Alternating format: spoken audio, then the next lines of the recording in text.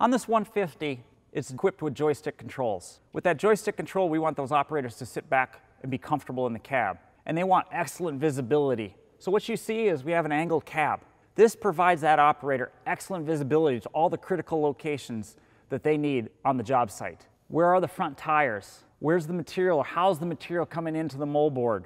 Where's the toe or the leading edge of the moldboard at? How about where's the material coming off that moldboard or off the heel, the discharge side of that moldboard? Where is that? Where's that material coming off? Whether that moldboard is under the machine or you're doing slope work and it's up on a slope, you can see that heel and where that material is being discharged.